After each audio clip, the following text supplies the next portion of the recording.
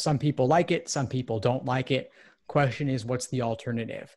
I think administering it in person probably isn't a great idea given COVID. It's not the most essential thing. And if people would get COVID as a result of it, doesn't really seem worth it to me in my view. So the question is, what do you do next? Well, you either not have an LSAT period or you do it online. I think if you were to mail physical booklets to people and have them mail it back, you'd have way more cheating concerns mm-hmm. there. So this is really, I think nobody really wanted this, especially LSAC, but they rolled it out pretty quickly because people do want to take the LSAT, they do want to apply. And I think logis- some of the logistical things involved make it make more sense than shipping tablets all over the world to have people do it at in-person testing centers, even with social dis- distancing. I just think it isn't feasible. And then as for three sections versus five, I do think with a long enough timeline, they'll change that.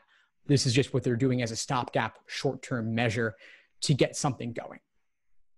But they are going to need to add more, another section to do experimentals at yeah. some point if this continues. Thanks for tuning into the show. Please subscribe if you haven't done so already to be notified of new episodes as I release them. And feel free to reach out if you need anything at all as you move forward with your prep. I'm happy to help however I can. In the meantime, I wish you all the best and take care.